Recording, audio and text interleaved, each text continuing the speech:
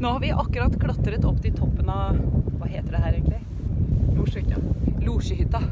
Og jeg tenkte å overraske Lars eh, under eh, Minutt for minutt. Og jeg har fått med meg et fantastisk følge. Dette er Johanne som har eh, guidet oss opp en hemmelig rute. Så jeg trodde jeg skulle daue, men jeg fikk altså hjelp til å bære sekk, og jeg ble halt opp og dyttet, så jeg klarte det. Og så har vi Henriette, som har vært sekretæren min på vei oppover. Så nå står vi her og venter i endeløs spenning på at Lars og følget skal komme ned fjellsiden her borte. Her.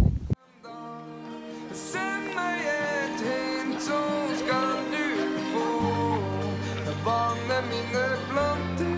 Jeg pleier det jeg så. Sekundene tikker. Elsken min! Jøss, det var en overraskelse. Ja, du vet hva? Så Jeg har sett på disse programmene og tenkt at det, er rett og slett dårlig gjort.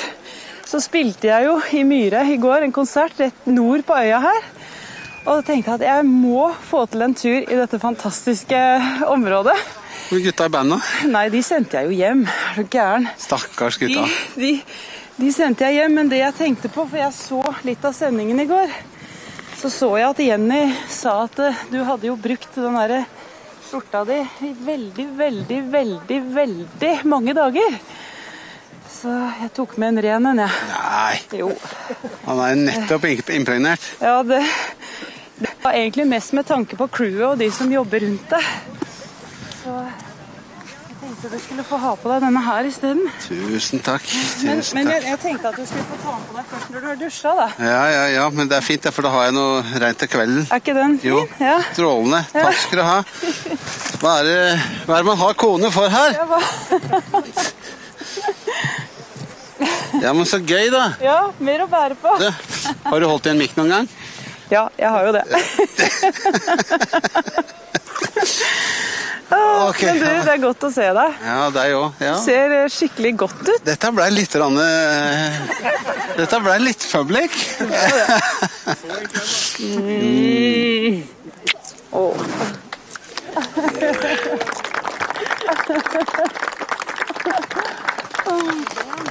Mm. Jeg er kjempestolt av deg. Jeg er ikke så verst stolt av deg heller, skjønner du. Ok, nå skal Så- vi tusle videre. Ja, så, så disse kan du ha med deg på tur, ja. Ja, du sniker deg noe med innimellom. Jeg, jeg gjør det. Ja, Ok.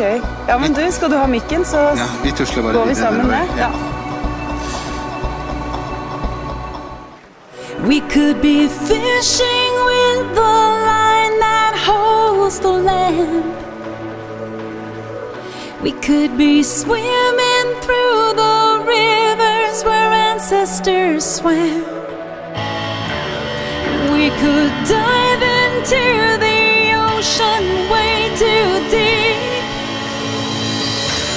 And we could fly into the sky